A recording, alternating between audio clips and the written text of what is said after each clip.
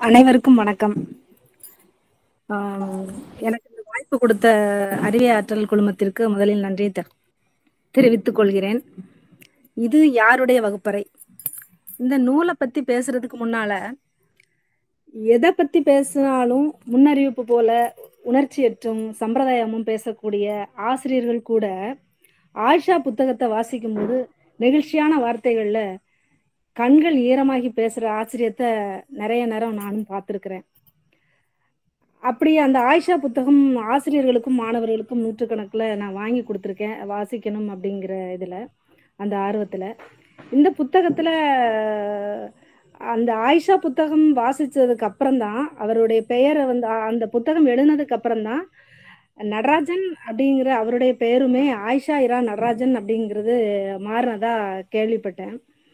அவருடைய அந்த அந்த புத்தகத்திலேயே அவ்வளவு விஷயங்கள் இருக்கும்போது அவருடைய புத்தகம் இது யாருடைய வகுப்பறை தலைப்பை பார்த்த உடனே ரொம்ப பிடிச்சது. அதுக்கப்புறம் அந்த புத்தகத்தை எத்தனையோ தடவை படிச்சாலும் ஒவ்வொரு முறை படிக்கும் போதும் அது எனக்கு புதுசு மாதிரியே புது புது கருத்துக்கள் அதுல இருக்குது.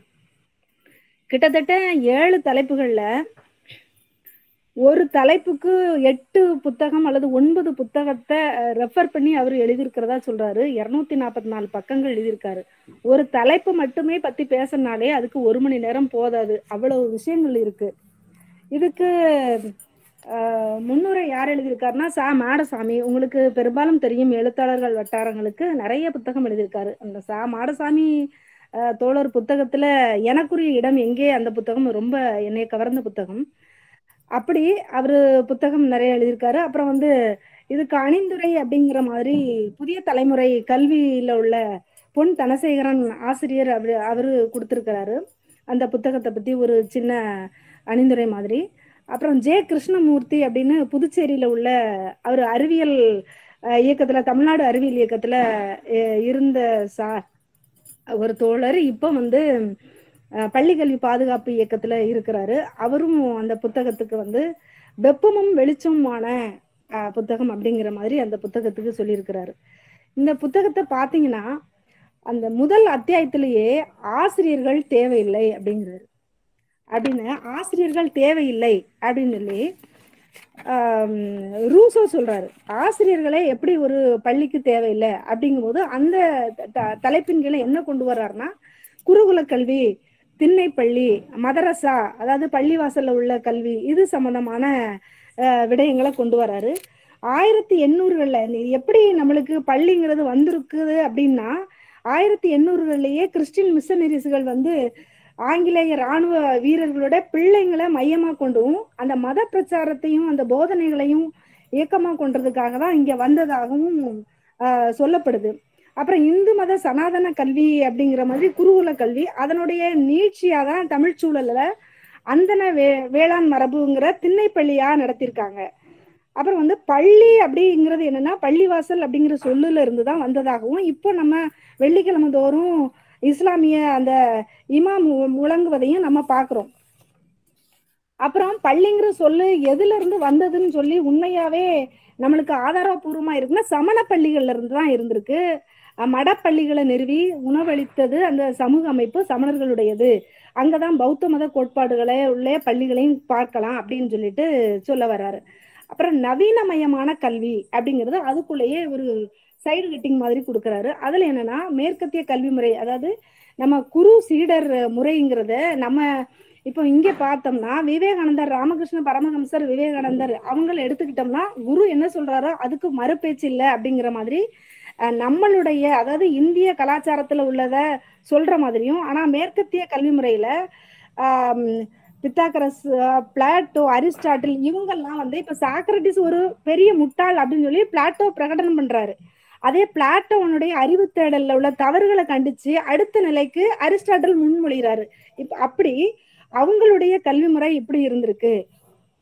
அப்படிங்கிற விடயத்தையும் இதுல சொல்றாரு. அப்புறம் வந்து இந்தியாவுக்குள்ள நமக்குள்ள அதாவது பல்வேறுபட்ட வர்க்கங்களை ஒன்றிணைச்சு அதுல உள்ள வாய்ப்புகளை எடுத்து அந்த கல்வி முறையை இதுவரைக்கும் கொடுக்க முடியல அப்படிங்கிறது தான் அவருடைய கருத்தா அதுல வைக்கிறாரு. அதுலயும் வந்து இப்போ இருக்கிற கல்விமுறை என்னன்னா சமூக பிரிவுகளை ரொம்ப அதிகப்படுத்தி அதுலயும் வர்க்க வேறுபாடுகளை இன்னும் ஆழமா குறையோட வச்சு அதை தொடர்ந்து தக்க வைத்து கொள்ற மனப்பான்மையை மக் மக்களிடையும் வர்க்கங்களிடையும் உள்ள இடைவெளியை ரொம்ப அதிகமா ஆக்கியிருக்கு.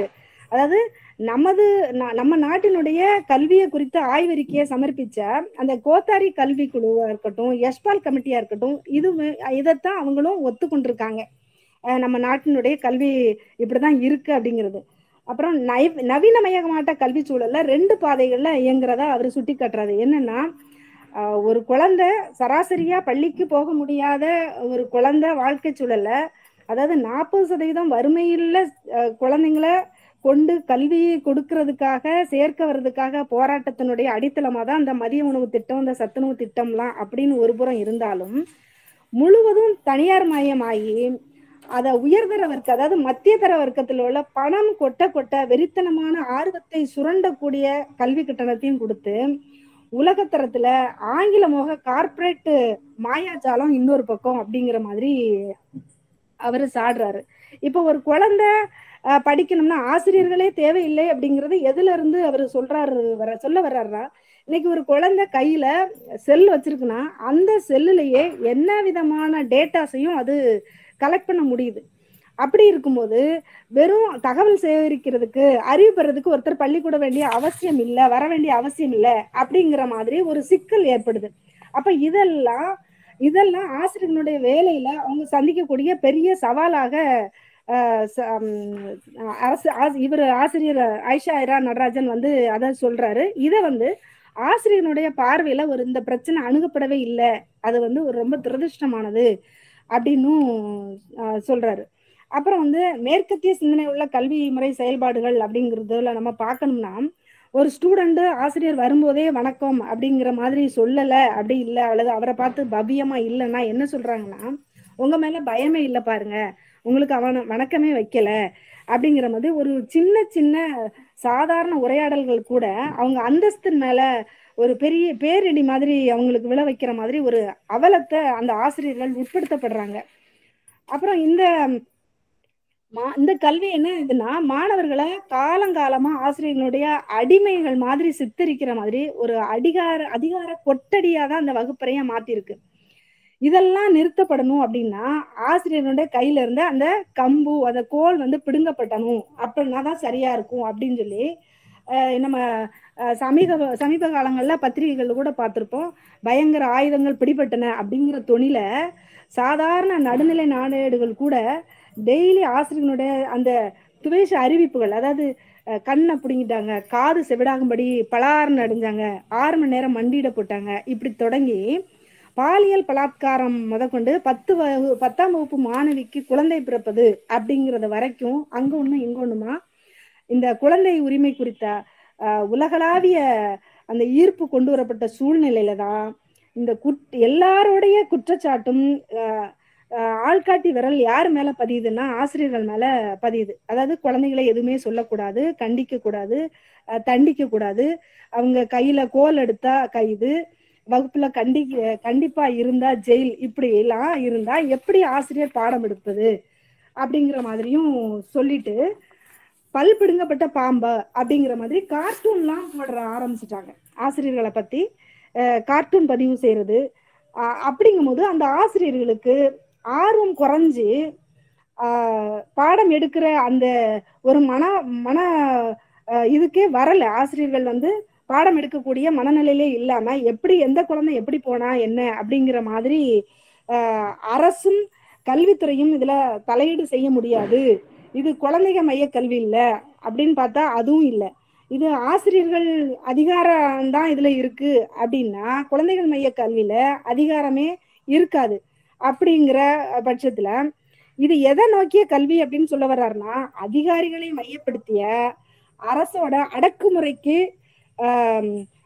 பல கல்வியல் அறிஞர்கள் இது அரசனுடைய அடக்குமுறை தான் அப்படிங்கிறது பலரும் அதை சொல்றாங்க. அரசனுடைய அடக்குமுறை கல்வி தான் இது. குழந்தைகளுக்கான கல்வியும் இல்லை ஆசிரியர்களுக்கான கல்வியும் இல்லை அப்படிங்கிற மாதிரி சொல்ல வர்றாரு. இதுல என்னன்னா இது ஏற்கனவே எப்படின்னா முன்னாடியே தயாரிக்கப்பட்ட ஒரு ராஜ தர்பாரான கல்வியை தான் கொண்டு போகணும் அப்படிங்கிற மாதிரி ஆளும் வர்க்கம் வந்து அதனுடைய படிநிலைகளை கட்டமைச்சு ஆசிரியர்களை வழி நடத்திட்டு வர்றத சுட்டி காட்டுறாரு இதுல ஆசிரியர்கள் என்னன்னா அரசு துறை சார்ந்த நான்காம் படிக்கட்டுகள். அதாவது அரசு பதவிக்கு ஒரு ஆள் எடுக்காங்கன்னா அவங்களுக்கு தேர்வு வச்சு அவங்க பாடம் நடத்தி காட்டுறதும் அப்படிங்கிற மாதிரி ஒரு பிரத்யேக தேவை. இதெல்லாம் வந்து இந்த விழிப்புணர்வு வந்து வழிமுறைகள் தேர்வுகள்ல இல்ல அப்படிங்கிற மாதிரி. அதாவது அ- அரசினுடைய மேல்நிலை கல்விக்குழு எப்போ எப்ப ஆயிரத்தி தொள்ளாயிரத்தி ஐம்பத்தி ரெண்டுல முதல் சட்டோபாத்தியாய குழு. அப்புறம் வந்து பல்வேறு கல்வி குழுக்களும் என்னன்னா இந்த ஆசிரியர்கள் சம்பந்தமான மாணவர்கள் சம்பந்தமான அந்த ஆலோசனை குழுக்கள் வழங்கிய வழங்கினதை ரொம்ப நாளா கவர்மெண்ட் வந்து கிடப்பிலேயே போட்டுட்டு. இதுல என்னன்னா ஃப்ரீ மார்க்கெட்டிங் எக்கனாமி அதாவது திறந்த சந்தை பொருளாதார கார்பரேட் அப்படிங்கிற மாதிரி தனியார் மைய வெறியர்களும் அரசினுடைய கையில இருந்து கல்வியை பறிச்சு அதை முழுக்க முழுக்க தனியார்த்து கொடுத்துட்டா சொர்க்கபுரி ஆயிரும் அப்படிங்கிற மாதிரியும் நம்ம இப்போ பேசுறத பார்க்கலாம் அப்படின்ற மாதிரி சொல்ல வர்றாரு. அதாவது நம்ம ஊருக்கு இந்த கல்வி எப்ப வந்தது அப்படின்னு பார்த்தோம்னா கிட்டத்தட்ட இருநூறு ஆண்டுகளுக்கு முன்னாலதான் வந்திருக்கு. இந்த கல்வி வந்ததுனால வராம போயிருந்தா என்ன ஆயிருக்கும்? அப்படிங்கிற மாதிரி நம்ம அதை யோசிக்கணும் அப்படின்னு சொல்ல வர்றாரு. அதாவது நம்ம அம்மா அப்பா ஸ்கூல் படிச்சிருந்தா நம்ம காலேஜ் படிக்கிறோம். அப்ப அதுக்கு முன்னால உள்ளவங்க என்ன படிச்சிருப்பாங்க? அப்படின்னு சொல்லும்போது இவர் வந்து அந்த முதல் அத்தியாயத்திலேயே நிறைய விஷயங்களை சொல்லிட்டு அடுத்து ரெண்டாவது அத்தியாயத்துல இது யாருடைய வகுப்பறை அப்படிங்கிறத டாபிக்ல கொண்டு வர்றாரு. இது யாருடைய வகுப்பறைங்கும்போது இது மாணவருடைய வகுப்பறையா? இல்ல ஆசிரியருடைய வகுப்பறையா? அப்படிங்கும்போது மாணவருடைய வகுப்பறைனா ஆசிரியர்கள் என்ன பண்றாங்கன்னா இது என்னுடைய கிளாஸ் ரூம் இதுல நான் சொல்றதா நடக்கும் அப்படின்னு சொல்லிட்டு மாணவர்களை ஒரு அதாவது அடிமை மாதிரி நடத்துறது அல்லது அவங்களுடைய சட்டத்திட்டங்களுக்கு மாணவர் யாருமே எழுத்து பேசக்கூடாது அப்படிங்கிற மாதிரியும் ஒரு நடவடிக்கையில ஆசிரியர்கள் இயங்குறதையும் சொல்றாரு. அப்புறம் வந்து இந்த கல்விக்கும் பள்ளிக்கும் என்ன வேறுபாடுங்கிறத அழகா அதுல சொல்லிடுறாரு. கல்விங்கிறது ஒரு பரந்துபட்ட செயலாக்கம் பள்ளிங்கிறது ஒரு குறுகிய செயலாக்கம் அப்படின்னு அந்த பள்ளி சம்பந்தமாகவும் கல்வி சம்பந்தமாகவும் நிறைய விரிவான தகவல்களை கொடுக்குறாரு. இதுல என்னன்னா ஆரம்ப கால கிரேக்கர் அப்படிங்கிற இதுல கல்வி சம்பந்தமா சொல்றாரு. அப்புறம் வந்து சோபிஸ்டுகளின் கல்வி பிளாட்டோவின் கல்வி அப்புறம் அரிஸ்டாட்டில் தாமஸ் அக்னா அக்னஸ் என்ன சொல்றாரு? மார்ட்டின் லூத்தன் என்ன சொல்றாரு? பிரான்சிஸ் பெக்கான் என்ன சொல்றாரு? இப்படின்னு சொல்லி ஒவ்வொருத்தருடைய கல்வி முறையும் பத்தி சொல்றாரு. அதுல கல்வி முறை பத்தி சொல்லும்போது கல்வி ஒரு சித்தாந்தமா மாறணும்னா அதுக்கு ஆறு அம்சங்களை கொண்டிருப்பது அவசியம் அப்படின்னு சொல்றாரு. எதெல்லாம்னா மனித மதிநுட்பம் மணி மனச்சான்று நுண்ணறிவு திறன் பகுத்தறிவு விருப்பாற்றல் நன்னடத்தை இதெல்லாம் சொல்லிட்டு கடைசியா மார்க்சிஸ்டுகள் இதோட நோக்கம் அப்படிங்கிறதையும் இணைச்சிருக்காங்க அப்படிங்கிற தகவலையும் அப்படி சொல்- சொல்றாரு. அப்புறம் இந்த பள்ளி சார்ந்து சொல்லும்போது ஆசிரியர்கள் மாணவர்கள் இப்போ வந்து ஒரு குழந்தை என்ன நிலையில படிக்க வருது? அவனுடைய சுற் சுற்றுப்புற சூழல் என்ன? அவன் வந்து என்ன மனநிலையில் இருக்கான்? காலையில சாப்பிட்டானா? சாப்பிடலையா? அவன் அந்த கற்றுக்கொள்றத ஏற்றுக்கொள்ற மனநிலையில இருக்கிறானா? இல்லையா? அப்படிங்கிறதையும் ஆசிரியர்கள் புரிஞ்சுக்கிடணும். அந்த ஒரு எந்திரமயமானதை இப்போ ஒரு குப்பை தொட்டி இருக்குன்னா அதில் கொண்டு குப்பையை திணிக்கிற மாதிரி ஒரு பேங்க்ல அக்கௌண்ட்ல பணம் போடுற மாதிரி இப்படி மாணவர்கள மண்டையில நிறைய ஏற்றக்கூடாது ஏத்தக்கூடாது. அவனுடைய மனநிலையும் புரிஞ்சுக்கிடணும். அப்படிங்கிற விஷயத்த நிறைய எடுத்துக்காட்டோட சொல்றாரு. அப்புறம் மாணவர்களுடைய பருவத்தை பிரிக்கிறாரு. மூணு பருவமா பிரிக்கிறாரு. குழந்தை பருவம் பிள்ளை பருவம் குமார பருவம். அப்படின்னு பிரிக்கும் போது அந்த பிள்ளை பருவத்திலேயே முன் பிள்ளை பருவம் பின் பிள்ளை பருவம் குமார பருவத்திலையும் அதாவது அடலசன் பருவத்தையுமே ப்ரீ அடலசன்ட் போஸ்ட் அடலசன்ட் இப்படி அவங்க அவங்களுக்கு என்னென்ன வயதுல என்னென்ன பிடிக்கும் அப்படின்னு சொல்ல வர்றாரு. இப்போ வந்து இப்போ ஒரு மூன்றாம் வகுப்பு வரைக்கும் உள்ள குழந்தைக்கு என்ன பிடிக்கும்னா அந்த கலர் கலரா உள்ள விஷயங்கள் பிடிக்கும். பொம்மைகள் அப்புறம் வந்து அந்த பலூன் அது அந்த ஏஜை வந்து எப்படின்னு சொல்றாங்கன்னா பலூன் ஏஜ்னு சொல்றாங்க. சாக்லேட்டு பிஸ்கெட்டு இப்போ டிவியில கூட விளம்பரங்கள் இவங்களை வச்சு தான் நிறைய கொண்டு போகுது. கார்ப்பரேட் கம்பெனியுடைய வியாபாரமே இப்படி இந்த குழந்தைங்களை மையப்படுத்தி தான் எடுக்க போகுது அப்படிங்கிற மாதிரி சொல்றாரு. அப்புறம் வந்து பின் பிள்ளை பருவம்ங்கிறத ஏழு டு பன்னெண்டு வயசு அவர் பிரிக்கிறது அதாவது கார்ட்டூன் சேனல் போக்கோ இந்த விளையாட்டுகள்லாம் இந்த விளையாட்டுகள்லாம் எழுபது சதவீதம் இது வந்து இந்த பிள்ளை பருவத்தை வச்சு கொண்டு போறாங்க. அப்புறம் வந்து இந்த வயசுல தான் என்ன இயற்கையை ர- ரொம்ப ரசிப்பாங்க. விதவிதமா ட்ரெஸ் போட நினைப்பாங்க. அப்புறம் வந்து உணவுல வந்து ரொம்ப காரத்தன்மையை சேர்ப்பாங்க அப்படின்னு மாணவனுடைய உளவியல் சம்பந்தமான விடயங்களையும் இந்த இந்த தலைப்புல நிறைய சொல்ல வர்றாரு. அப்புறம் வந்து ஆசிரியர்களுக்கான இதையும் பேசுறாரு. ஆசிரியர்கள் வந்து எப்படி அதாவது மாணவனுடைய அது இப்போ ஒரு பெண் வந்து மாதவிடாய் பருவமானாலும் இவங்க வந்து ஒன்லி படிப்பு மார்க்கு அப்படிங்கிறத கொண்டு போய்கிட்டு அந்த அந்த குழந்தையினுடைய மனநிலை கூட புரிஞ்சுக்காம இருக்கிற அந்த செயல்பாட்டையும் அவர் வந்து கண்டிக்கிறாரு. ஆசிரியர்களுடைய செயல்பாடுகளையும். அப்புறம் பார்த்தா கல்வி உளவியல் அப்படிங்கிறத சொல்றாரு. இப்போ வந்து மூணாவது டாபிக்ல ராமலிங்கத்தை தெரியுமா அப்படின்னு அறிவியல் தெரியும் ராமலிங்கத்தை தெரியுமா அப்படிங்கிற மாதிரி ஒரு டாபிக் கீழே என்ன கொண்டு வரேன்னா கல்வி உளவியல் எதுக்கு? அதாவது உளவியல் ரீதியா சொல்ல வரும்போது ஏன் பீரியடு ஏன் கிளாஸ் இந்த பேசுற வேலையை வச்சுக்காத வெளியே போ. இது ஓன் வகுப்பற கிடையாது.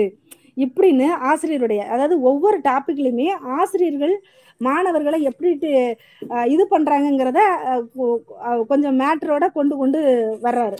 அப்புறம் வந்து அந்த உளவியல் ரீதியா கத்துக்கணும் இப்போ ஒரு இப்போ மாணவன் ஒரு ஆசிரியர் வந்து அறிவியல் ஆசிரியரா இருந்தாருன்னா அவங்க கிட்ட போய் ஒரு வரலாறை பத்தி கேட்டா இது வரலாறு டீச்சர் சொல்லி தருவாங்க இது அந்த சீரியல்ல கேட்டுக்கோ அல்லது எனக்கு தெரியாது அப்படிங்கிற மாதிரி இதெல்லாம் என்கிட்ட கேட்காத அப்படிங்கிற மாதிரி ஆசிரியர் சொல்றதையும் அவர் என்ன சொல்றாருன்னா நீ ஒரு ஆசிரியர் வந்து இவ்வளவு படிச்ச ஆசிரியர் பத்தாம் வகுப்பு பன்னெண்டாம் வகுப்பு வரைக்கும் உள்ள மாணவனுக்கு சொல்லி கொடுக்காத போது ஆனா எல்லா சப்ஜெக்ட்லயும் அந்த மாணவன் வந்து படிச்சு மார்க் எடுக்கணும்னு எப்படி நம்ம எதிர்பார்க்கிறோம் அப்படிங்கிறதையும் அதில் ஆஹ் சொல்றார் ஆசிரியர் குறிப்பிடுறாரு. அப்புறம் வந்து இப்போ ஒரு அதுக்கு உதாரணமா என்ன சொல்றாருன்னா ஒரு டாக்டர்கிட்ட போனோம்னா அவர் வந்து அந்த டாக்டர் வந்து அந்த பாடி ஆஃப் த பார்ட்ஸ் அதாவது உடம்புல உள்ள எல்லா பார்ட்லயும் என்னென்ன நோய் வரும் என்ன ஏதுன்னு படிச்சிருக்கிறாரு. அதே மாதிரி குழந்தைங்களுக்கு என்ன பிரச்சனை வரும் அப்படிங்கறத இது பண்ற அது மாதிரியே ஆசிரியர்களும் குழந்தைங்களுடைய எல்லா பிரச்சனையும் தெரிஞ்சு வந்தாதான் அந்த கல்வி முறையில இது இருக்கும். அதாவது முன்னேற்றம் இருக்கும். குழந்தைய ஒரு நல்ல இதுக்கு கொண்டு வர முடியும் அப்படிங்கிறதுனால கல்வி உளவியல் என்பது என்ன அப்படிங்கிற ஆஹ், தலைப்பு கீழே கற்பவர் யாரு? கற்பிக்கும் முறைகள் என்ன? கற்பிக்கும் சூழ்நிலைகள் லேர்னிங் சுச்சுவேஷன் இப்படி எல்லா விதமான இதையும் ஆசிரியர் சொல்றாரு. அப்புறம் உளவியலின் சுருக்கமான வரலாறு தெரியுமா? அப்படிங்கிற இதுக்கு கீழே உளவியல் எப்படி தோன்றுச்சு? அது அதனுடைய சுருக்கமான அதாவது மனம் வந்து மூன்று நிலைகளை இயங்குது. சிந்தித்தல் உணர்தல் புற செயல்களை தூண்டுதல் இப்படியெல்லாம் இயங்குது. அதுல இருந்து தான் மன இயக்கம் உடல் இயக்கம் இந்த இரண்டும் எப்படி வேறுபடுது? எப்படி இரும்பு காந்தத்தால் இழுக்கப்படுறது ஒரு எந்திர செயல் மாதிரியும் அதே மாதிரி நம்ம உடம்புக்கும் மனசுக்கும் உள்ள தொடர்பு சம்பந்தமாகவும் இந்த இதுல இந்த டாபிக்ல நிறைய எடுத்துக்காட்டுகளோட ஆசிரியர் சொல்றாரு. அதாவது ஒவ்வொரு இதுலயுமே ஒவ்வொரு உளவியலாளர்கள் இப்ப வந்து சிக்மன் ஃப்ராய்டு அப்படிங்கிற உள்ள பகுப்பாட்டை உள்ள பகுப்பாய்வு அப்படிங்கிற கோட்பாட்டை முன்மொழிந்தவருடைய இதை எடுத்துக்காட்டோட நிறைய விஷயங்கள் ஆசிரியர் சொல்றாரு. அப்புறம் வந்து குழந்தை பருவம் அதுல ஏற்கனவே சொன்ன மாதிரி குழந்தை பருவம் பிள்ளை பருவம் குமார பருவம் இந்த பருவங்களை பத்தி நம்ம ஆசிரியர்கள் கண்டிப்பா தெரிஞ்சுக்கணும் அப்படின்னு. அந்த பிள்ளை பருவம் அஞ்சாம் கிளாஸ்ல இருந்து எட்டாம் கிளாஸ் வரைக்கும் என்ன இதுல இருக்கும்? மகிழ்ச்சி மகிழ்ச்சி இல்லாம இருக்கிறது அது கவனிக்கும் புறக்கணிக்கும் அப்புறம் செயலுறு நிலையில இருக்கும் செயலற்ற நிலையில இருக்கும். அந்த அந்த அந்த குழந்தையோட தன்மை எப்படி இருக்கும்? அப்புறம் வந்து குமார பருவம்னா ஒன்பதாம் வகுப்புல இருந்து பன்னெண்டாம் வகுப்பு வரைக்கும் அது என்னென்ன சேட்டைகள்லாம் பண்ணும்? ஆஹ், எப்போதுமே தன் உடல் மே தன் உடலினுடைய அழகு மேலேயே அது முழு கவனமும் இருக்கும். அடிக்கடி தலையை சீப்படுத்து சீவிக்கிறது அப்புறம் பாக்கெட்டுக்குள்ள கண்ணாடி வச்சுக்கிறது சீப்பு வச்சுக்கிறது இப்படி அந்த வயசுல என்னென்ன இதெல்லாம் பண்ணும் குழந்தைங்க பண்ணும் இந்த குமார பருவத்துல இப்படி ஒவ்வொரு பருவத்தையும் பத்தியும் ஆசிரியர் நல்லா தெளிவான விளக்கங்கள் கொடுக்குறாரு. அதாவது வகுப்பறையின் மே- தீ தீப்பற்றிய போது அப்படிங்கிறதுல கற்றல் என்றால் என்ன? அந்த இதுல நம்ம கல்வியினுடைய நோக்கம் என்னவா அப்படி சொல்றாருன்னா முழுமையான ஆளுமைகளை உருவாக்குதல். அதை வந்து மனதளவில் இருந்தாலும் சரி உடல் அளவில் இருந்தாலும் சரி பலவான்களாக உண்மையை நீதியை நியாயத்தை நிலைநாட்டுபவராக இப்படி பொறுப்புணர்ச்சி மிக்கவராக விடுதலை வேட்கை தனது உணர்வாய் பெற்று அமைதியும் சமாதானம் கொன்ற ஒன்றுபட்ட சமுதாயத்தை உருவாக்குவராக நம்ம வளர்த்தெடுக்கிறது தான் நம்ம கல்வியின் நோக்கம்னு நம்ம அரசு அரசியலமைப்பு சட்டத்துல குறிப்பிட்டிருக்கிறதையும். ஃபண்டமெண்டல் லா ஆஃப் எஜுகேஷன் அப்படிங்கிற இதுல அவரு அந்த சரத்து என்ன சொல்லுது அப்படிங்கிறத அப்படியே கொடுத்துருக்கிறாரு. அப்புறமா கற்றலினுடைய விளைவாக இப்போ ஒரு குழந்தை ஒரு நல்ல விதமா கற்று வந்துச்சுன்னா அதனுடைய என்னென்ன மாற்றங்கள் ஏற்படும்? உளவியலா இருக்கட்டும் அதனுடைய நடவடிக்கையா இருக்கட்டும் என்னென்ன மாற்றங்கள் ஏற்படும் அப்படிங்கிறத விளக்கமா எடுத்து சொல்லாரு. அப்புறம் வந்து கற்றல் என்பதன் விளக்கம் என்ன? அது எப்படி நடக்குது? அப்புறம் வந்து கற்றல் நிகழ்வுகளோட தனி மனித வேறுபாடு ஏன் மரத்தல் மறத்தல் ஏன் நடக்குது? அந்த கற்றல் பரிசு அதுக்கு உள்ள தண்டனை இவற்றின் பங்கு பங்கு என்ன? கற்றல் மாற்றம் எப்படி நிகழ்கிறது? கற்றலை ஊக்கப்படுத்தும் வழிமுறைகள் உள்ளனவா? இப்படி ஒவ்வொரு கேள்வியும் கேட்டு அதற்கான பதிலையும் ஆசிரியர் அந்த நூல்ல கொடுக்கிறாரு. இதுல நமக்கு வைக்கிற கேள்விகள் என்னன்னா தூண்டல் துளங்கள் கோட்பாடெல்லாம் நம்ம படிச்சிருக்கோமா? அப்படிங்கிறத அந்த கேள்வி கேட்டு அதுக்கான பதிலையும் கொடுக்கிறாரு. அப்புறம் பாத்தீங்கன்னா ஒவ்வொரு காட்சிப்படுத்துதல் அதாவது தூண்டல் தளங்கள் கோ- கோட்பாடு பற்றி சொல்லிட்டு காட்சிப்படுத்துதல் அதாவது முழுமை காட்சி கோட்பாடு என்ன? அப்படி பற்றி அந்த முழுமை கோட்பாடு காட்சி பற்றி தெரியுமா? அப்படின்னு சொல்லிட்டு அந்த முழுமை கோட்பாடு காட்சிப்படுத்துதல்லாம் என்ன? அதனுடைய விளக்கம் என்ன? அதாவது அதனுடைய என்னதெல்லாம் இருக்கு? அதுக்கான ஆயத்தம் செய்யறது அதாவது நம்ம நான் வகுப்புக்கு வந்த உடனே போயிட்டு நேர பிளாக் போர்டுக்கு போயிட்டு மடமடன் பாடத்தை நடத்தாம அதுக்கான ஒரு அறிமுகத்தை கொடுக்கறது. அதுக்கான ஆயத்தம் செய்யறது அப்புறம் வந்து மனதில் அசை போடுதல் அப்படிங்கிறத என்ன பாடப்பொருள்? அது ஏற்கனவே அந்த பாடப்பொருள் பொறுத்து என்ன கொடுத்துருக்கோம்? அப்படிங்கிறத அசை போடுறது அப்புறம் வந்து உள்ளொளி அல்லது உட்காட்சி ஏற்படுதல் அந்த தீர்வு குறித்த அந்த விளக்கத்தை அல்லது அதை புரிந்து கொள்ளப்படுறது. அப்புறம் மதிப்பீடு. அல்லது சோதித்து அறிதல். அந்த தீர்வினைய அந்த என்ன தீர்வு இருந்துச்சோ அதை சோதித்து சரிபார்த்தல். இப்படி அந்த முழுமை காட்சிப்படுத்துறதுல ஒவ்வொரு சின்ன சின்ன குட்டி டாபிக் கொடுத்து அதுக்கான ஒரு நீண்ட நெடிய உதாரணங்களையும் விளக்கத்தையும் ஆசிரியர் சொல்றாரு. அப்புறம் வந்து பரி பரிமாணம் அதாவது நான்காம் பரிமாணம்ங்கிறத வகுப்பறையின் விதிகளாக சொல்றாரு. அதாவது ஒரு வகுப்பறை எப்படி இருக்கணும் அது வந்து எத்தனை அடியில் இருக்கணும் அந்த அது அதுக்கான ஜன்னல் எப்படி இருக்கணும் வாயிற்கதவு எப்படி இருக்கணும் இப்படி தான் ஒரு வகுப்பறை அமைஞ்சிருக்கணும் அப்படி இருந்தால் தான் அந்த குழந்தை படிக்கிறதுக்கும் அதனுடைய அந்த காற்றோட்டமான சூழ்நிலைக்கும் இருக்கும் அப்படிங்கிறத ஆஹ், ஆய்வு பண்ணி எழுதியிருக்காரு. அப்புறம் ஒவ்வொரு விதி கொடுத்து எழுதியிருக்காரு. என்னன்னா பேசுறது குறித்த விதி. அதாவது யார் பேசுறது யார் பேசக்கூடாது. அப்படிங்கிறதுக்கு இந்த இந்த விதி ரொம்ப க- அதாவது ஆசிரியர் வந்து பேசுவராகவும் மாணவர் கவனிப்பராகவுமே இருக்குது. அதாவது எப்பவுமே ஆசிரியர் வந்து அடிக்கடி பேசாத கவனி பேசாத கவனி அப்படின்னு சொல்லுவாங்க இல்லையா? அது மாதிரி இதுல எப்பயுமே கத்துறது சிரிக்கிறது இது எல்லாமே இந்த குழந்தைங்க கத்துவாங்க சிரிப்பாங்க. இதுல தான் இந்த விதி வந்து மாணவர் பேசினா என்ன பேசலாம் எது பேசக்கூடாது அப்படிங்கிறது. மாணவர்கள் என்ன பேசலாம் எதை பேசக்கூடாதுன்னு விடி விரிவடையும் போது அது வந்து அவங்களுக்குடைய ஆர்குமெண்ட் அதாவது எப்படி சொல்றதுன்னா ஆசிரியர் மாணவர் உரையாடலா இருக்கணும். அந்த இது பேசுறது வந்து.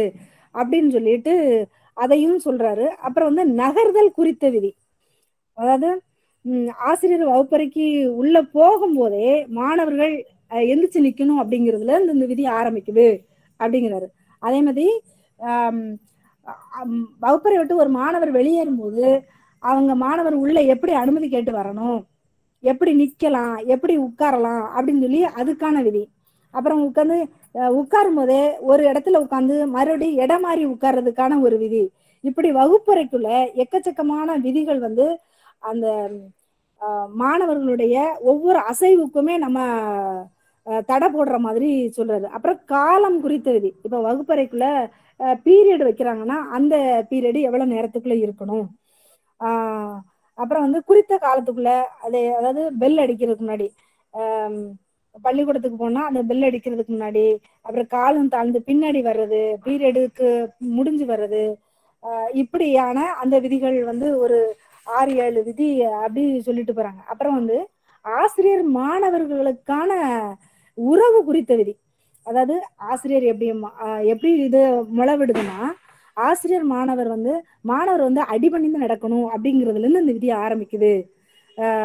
அதாவது ரொம்ப அதாவது அடிமை மாதிரி நடக்கிற மாதிரி இந்த கல்வி முறையில அப்படி இருக்குது. எப்படின்னா ரொம்ப மரியாதை தரணும் அப்படிங்கிறது அந்த விதியில சொல்லுது. அப்புறம் கண்டிப்பா வணக்கம் வைக்கணும். சப்போஸ் மாணவன் கவனிக்காம போயிடக்கூடாது. அப்புறம் வந்து ஒரு எடுபடி ஆளாக இருக்கணுங்கிற மாதிரி ஆசிரியர்கள் எதிர்பார்க்கிறாங்க. ஆனா அந்த இது தவறு அப்படிங்கிறது. அப்புறம் வந்து நன்னடத்தை குருபக்தி அப்படிங்கிற மாதிரியும் இந்த இது போகுது. அதாவது நல்ல இது போறது அப்புறம் குருபக்திங்கிற முறையில எதையுமே அந்த மாணவன் வந்து டீ வாங்கிட்டு வா அப்படி பைய தூக்கிட்டு வா அப்படிங்கிற மாதிரி அது வந்து இப்ப இருக்கிற நடைமுறையில ரொம்ப துரதிருஷ்டமானது ஆஹ் துரதிருஷ்டவசமானது அப்படின்னு சொல்லி சொல்றாரு. அப்புறம் மாணவர் மாணவர் குறித்த விதி. அதாவது மாணவர்கள் ஒருவருக்கு ஒருவர் சண்டை போடக்கூடாது அப்படிங்கிறதுல இருந்து இந்த விதி ஆரம்பிக்குது. அப்படின்னு அதுலயும் ஒரு நாலஞ்சு ஒரு ஆறு ஏழு காண விதி சொல்றாரு. அதாவது ஒருவருடைய பொருளை எடுக்கிறது கையாளுறது திரும்ப ஒருத்தவங்களுடைய இருக்கையில போய் அமர்றது இப்படி ஒவ்வொரு விதியுமா விதிகளை போட்டு இந்த மாணவ மாணவர்களுடைய இது வகுப்பறை இப்படி போயிருது. இதெல்லாம் பிடுங்கிட்டா சரியாயிருமா அப்படிங்கிற கேள்வியையும் கேட்குறாரு கேக்குறாரு. அப்புறம் வந்து உள்ளேன் டீச்சர் அப்படிங்கிற தலைப்பு கீழே என்ன சொல்றாருன்னா பெற்றோர் அணுகுமுறை அப்படிங்கறத பத்தி ஜான் ஹோல்ட் அப்படி அவர் என்ன சொல்றாரு அப்படிங்கறத பெற்றோர் அணுகுமுறையில ஆசிரியர் நல்ல விரிவான கருத்துக்களோட நிறைய இதை சொல்லியிருக்கிறாரு. அப்படி சொல்லும்போது இப்போ வந்து குழந்தைய பெற்றோர்கள் எப்படி நினைக்கிறாருன்னா குழந்தை பெற்றோர்கள் வந்து சொத்தாக மதிக்கிறாங்க. அப்புறம் வந்து அன்பு செலுத்துற பாசம் செலுத்துற வடிகாலா தான் பாக்குறாங்க. ஆஹ் அப்புறம் வந்து ஒரு செல்ல பிராணியா பாக்குறாங்க. ஒரு ஆடம்பர பொருளா பார்க்கிறாங்க அந்த குழந்தைய அப்படின்னு சொல்லி பெற்றோர்கள் எப்படி மாணவர்கள்ட்ட நடந்துக்கணும் அல்லது அந்த தன்னுடைய குழந்தைங்கிட்ட எப்படி நடந்துக்கணும் எப்படி அதை அணைச்சி கொண்டு போகணும் எதெல்லாம் அஹ், பண்ணக்கூடாது தாங்க பெற்றோர்கள் வந்து தாங்கள் வாழ்றதற்கான ஒரே நோக்கமா கூட குழந்தைய கருதுறாங்க அப்படிங்கிறத அதாவது குழந்தைக்கு ஏதாவது வந்துட்டுனா தாங்க மாட்டேன் ஆஹ் அவனுக்கு தான் நான் வாழ்றதே அப்படின்னு சர்வசாதாரணமா பெற்றோர்கள் பேசுறது அந்த இதெல்லாம் ஆசிரியர் சுட்டி காட்டி சொல்லியிருக்கிறாரு. மாணவர்களை நம்ம எப்படி அணுகிறோம்? பெற்றோர்களா இருந்து ஆசிரியரா இருந்து அப்படிங்கிறதையும் சொல்றாரு. அப்புறம் வந்து உலகளாவிய குழந்தை உரிமை சட்டங்கள் பத்தி நமக்கு தெரியுமா? அப்படிங்கிறாரு. அதாவது குழந்தை உரிமை சட்டம் என்னதெல்லாம் இருக்கு? அதை நம்ம அறிஞ்சிருக்கிறோமா? ஆசிரியர்களாக இருந்தாலும் சரி அடுத்து பெற்றோராக இருந்தாலும் சரி நம்ம அதை பற்றி அறிஞ்சிருக்கிறோமா? அப்- அப்படின்னு அந்த அந்த சட்டங்களை பற்றி தெரிஞ்சுக்கிடணும் அப்படிங்கிற மாதிரி சொல்றாரு. அதாவது அரசும் இதை கண்டிப்பா தெரிஞ்சுக்கணும். அதற்கான இதை தூக்கி முன்னாடி கொண்டு போகணும் அப்படின்னு. அதாவது ஐநா குழந்தைகள் உரிமை பிரகடனம் வந்து மூன்று வகையான உரிமைகளை உத்தரவாதமா கொடுக்கறதுங்கிறத சொல்லியிருக்காரு. அதாவது குழந்தைகளை எதுல இருந்தெல்லாம் பாதுகாக்கணும் அப்படிங்கிற ஒரு உரிமை பிரகடனம் அதாவது குழந்தைய பாகுபடுத்தி அதை அதாவது ஒரு குழந்தைய பலமற்றது அல்லது பாதுகாப்பற்றது அப்படிங்கிற மாதிரி பாகுபடுத்தி துன்புறுத்தி துன்புறுத்துறத எதிர்த்து அதை காக்கணும் அப்படிங்கிற மாதிரியும். அப்புறம் வந்து ஆனா முற்றிலுமே அதாவது ஒட்டுமொத்தமாவே அனாதைய கைவிடப்பட்டு அனாதையாக்கி தனிமைப்படுத்தப்பட்ட தனிமைப்படுத்துவதற்கு எதிராக அதனை அரசு காக்கணும் அப்படிங்கிறதையும் சொல்லுது. அப்புறம் வந்து அர அனைத்து விதமான சுரண்டல்கள்ல இருந்து ஒரு குழந்தை தொழிலாளி ஆகிறதை எதிர்த்து அதனை காக்கணும் அப்படின்னு சொல்லி சொல்லுது. அப்புறம் வந்து குழந்தைகளுக்கு எதெல்லாம் தருவது அரசின் கடமை அப்படிங்கிற பிரகடனத்தையும் இதுல ஆசிரியர் சுட்டி காட்டுறாரு அதாவது குழந்தைக்கு உணவு கண்டிப்பா கொடுக்கணும். உடல் நலம் பெறுகிற உரிமை கல்வி பெறும் உரிமை சமூக பாதுகாப்பு பெறும் உரிமை இதெல்லாம் இருக்குதா? இதெல்லாம் இலவசமா இலவச கல்வி அப்படிங்கிற சரத்துக்குள்ள இதெல்லாம் அடக்கி அதை கொடுக்கணும். அப்படிங்கிறதையும் சொல்றாங்க. இதுல வந்து ஒரு வழக்கு கூட இருந்தது. அதாவது மத்திய மாநில அரசுகளுக்கு எதிராக தொடர்ந்த வழக்குல உச்சநீதிமன்ற தீர்ப்பு வந்து இந்த இலவச இலவச கட்டாய கல்வி கொண்டு வர்றதுக்கு அதாவது ஆர்டி ரைட் டு எஜுகேஷனுங்கிற ஆக்ட் கொண்டு வர்றதுக்கு முக்கியமான காரணமா இருந்துச்சு அப்படிங்கிறதையும் சுட்டி காட்டுறாரு. அப்புறம் வந்து உம் குழந்தைகள் எதுலெல்லாம் பங்கு பெறும் உரிமை பெற்றுள்ளனர் அப்படிங்கிற பிரகடனத்தையும் ஆஹ் முன்வைக்கிறாரு அதாவது என்னன்னா சமூக கல்வி அரசியல் குடும்பம் சார்ந்த நடவடிக்கைகள்ல பங்கு பெறுறது அப்புறம் வந்து சங்கம் குடும்பம் சேரும் உரிமை வகுப்பில் வீட்டில் சமூகத்தில் தகவல்கள் பெறும் உரிமை. இதெல்லாம் வந்து குழந்தைகளுக்கான உரிமையா ஐநா பிரகடம் பண்ணியிருக்குன்னு அதுல நிறைய அதாவது பெண் குழந்தைகளை தொடுவதோ அல்லது ஆண் குழந்தைகள் ஆஹ் உம் உட்பட்ட அந்த அஹ், குழந்தைகளை அதாவது எங்கெங்கெல்லாம் குட் டச்சு பேட் டச்சு இதெல்லாம் வந்து சொல்லி கொடுத்து இது அப்படிங்கிறத சம்பந்தமா ஒரு மூன்று நான்கு பக்கத்துக்கு அந்த உரிமைகள் சம்பந்தமாவே ஆசிரியர் சொல்றாரு. அப்புறம் வந்து இன்றைய வகுப்பறையில ஜன்னல் வழியா என்னென்ன விஷயங்கள்லாம் கேட்கப்படுது அப்படிங்கிற மாதிரி ஆஹ் ஆஹ் இது தகவலா என்ன சொல்றாருன்னா இது குழந்தை மிரிமே அதை மீறாத அப்படிங்கிற மாதிரி செய்தி சேனல் சொல்றதாகவும் அப்புறம் இந்த கட்டாய கல்வி இலவச கல்வி அப்படிங்கிறது. அப்புறம் கற்றலை இனிமையாக்க செயல்வழி கற்றலை இனிமையானது. அதாவது தேசிய கலைத்திட்டம் வடிவமைப்பு என்ன சொல்லியிருக்கு அப்படிங்கிறதும் அப்புறம் தொடர்ச்சியாய் அதாவது தொகுப்பாய் தொடர்ச்சியாய் மதிப்பிடுதல் அல்லது தொடர் மற்றும் முழுமையான மதிப்பீடு. அது கண்டினியூஸ் அண்டு காம்ப்ரஹென்சிவ் எவால்யூஷன் அப்படிங்கிற இதை இந்த உள்ளன் டீச்சர் அப்படிங்கிற தலைப்புக்குள்ள ஆசிரியர் கொண்டு வர்றாரு. அப்புறம் இந்த குழந்தைகளுக்கான கட்டாய இலவச கல்வி சட்டம் அப்படிங்கிறத ரெண்டாயிரத்தி ஒன்பது ஆகஸ்ட் இருபத்தி ஏழுல இந்திய சட்டம் அம்- நம்ம ஜனாதிபதியோட ஒப்புதல்ல அதை கொண்டு வந்திருக்கு அப்படிங்கிறத இதை கொண்டு வர கொண்டு வந்ததுக்கே பாராளுமன்றத்தில் குரல் ஓட்டு மூலம் நிறைவேற்றப்பட்டு அது ஒரு பெ- மிகப்பெரிய நீண்ட நெடிய வரலாறு அப்படிங்கிறதையும் அந்த அந்த நீண்ட நெடிய வரலாறையுமே ஆசிரியர் கொண்டு வர்றாரு. அப்புறமா இந்த குழந்தைங்க மத்தியிலேயே வேறுபாடு அதாவது இப்போ உள்ள கா காலகட்டத்தில் கல்வி இதில் பார்த்தோம்னா ஒரு குழந்தைக்கும் அதாவது ஜாதிய பின்னணி அதாவது என்னன்னா நாம கூட இப்போ கேட்டிருப்போம் குளத்தூர்ல ஒரு டீச்சர் அப்புறம் ஒரு சென்னையில் உள்ள ப்ரொஃபஸர்ஸ் கூட அந்த ஜாதிய பின்னணிங்கிறது ஆசிரியர்களுக்குள்ளேயே. அதாவது எவ்வளவு நூல்கள் படித்தாலும் எவ்வளவு முற்போக்கான சிந்தனை உள்ள இருந்தாலும் அந்த ஜாதிய கட்டமைப்புங்கிறது ஆசிரியர்களுக்குள்ள ரொம்ப ஊடுருவி இருக்குது. அது சார்பா இப்போ உள்ள மாணவர்கள் மத்தியில கையில கயிறு கட்டுறது அதாவது ஒவ்வொரு கலர் கலர் கயிறு கட்டுறது சம்பந்தமா விஷ்ணுபுரம் சரவணன் ஒருத்தர் கயிறுங்கிற ஒரு புத்தகம் கூட எழுதியிருப்பாரு. அதுவும் ஆசிரியர்கள் வாங்கி படிக்க வேண்டிய கட்டாயமான ஒரு புத்தகம் தான் மாணவர்களுக்கும் கொடுக்கக்கூடிய இது ஒரு நல்ல முறையில் எழுதியிருப்பாரு. அப்புறம் வந்து ஆசிரியர் இது இதை வந்து என்னோட சொந்த கருத்தாக நான் சொல்லியிருக்கேன். அப்புறம் வந்து அந்த தேசிய கலைத்திட்ட வடிவமைப்பு என்ன சொல்லுது? அதாவது ரெண்டாயிரத்தி அஞ்சுல தேசிய கலைத்திட்ட வடிவமைப்பு அப்படிங்கிறது ஒன்று கொண்டு வந்தாங்க. அதுல என்ன சொல்லுதுன்னா இப்போ ஒரு முதல் முதல்ல எப்படி வந்துச்சுன்னா பிரிட்டிஷ்காரங்க வேலைக்கு ஆள் எடுக்காங்கன்னா அதுக்கு இன்டர்வியூ இதெல்லாம் வச்சு எடுப்பாங்க அப்படிங்கிற மாதிரி. இந்த க இந்த கலைத்திட்ட வடிவமைப்புல என்னென்ன சொல்லியிருக்கு இதை வந்து குழந்தைகளுக்கு நம்ம சொல்லி கொடுக்கணும். குழந்தைங்களுக்கு என்ன சொல்லி கொடுக்கணுங்கிறதையும் இந்த முன்மொழிமையும் ஆயிரத்தி தொள்ளாயிரத்தி எண்பத்தி ஆறுல முதல்ல ஒரு தயார் செய்திருக்கு அதாவது குழந்தைங்களை கல்விக்கு அதாவது தொழில்துறைக்கு குழந்தைங்கள தயார் செய்திருக்கு என்னென்னலாம் கல்வியை மாற்றி அமைச்சது அப்படிங்கிற மாதிரி சொல்லி கொடுத்தது. இப்போ ரெண்டாயிரத்தி அஞ்சுலையும் புதிய தேசிய கலைத்திட்ட வடிவமைப்பு என்ன சொல்றதுங்கிற விவரத்தையும் ஆசிரியர் நல்ல விரிவாக சொல்லியிருக்கிறாரு.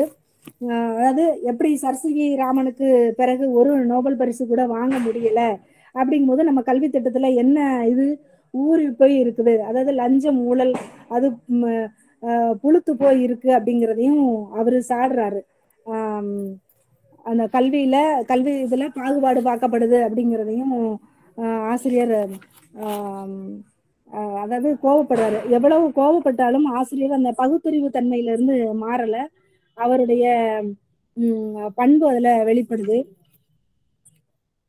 அப்புறம் வந்து அதாவது பள்ளினா எவ்வகை கல்வி பயன்களை கொடுக்க விரும்புது.